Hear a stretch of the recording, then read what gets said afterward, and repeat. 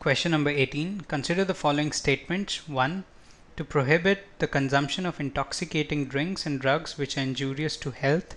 2. To prohibit the slaughter of cows, calves and other milch and drought cattle and to improve their breeds. 3. Equal pay for equal work for men and women. 4. To organize village panchayats. Which of the above is our Gandhian principles of directed principles of state policy in India? 1 only, B. 1 and 2 only, C 1, 2 and 4 or D 1, 2, 3 and 4? Well, the correct answer is C. Equal pay for equal work is a socialistic principle of directive principle of state policy. Question number 18 Hindi में निम्नलिखित कथनों पर विचार कीजिए मादक पेयों और स्वास्थ्य के लिए हानिकारक मादक औषधियों को प्रतिष्ठित करना दो गायों, बछड़ों और अन्य दुधारू और वाहक पशुओं का वध प्रतिष्ठित करना और उनकी नस्लों में सुधार करना।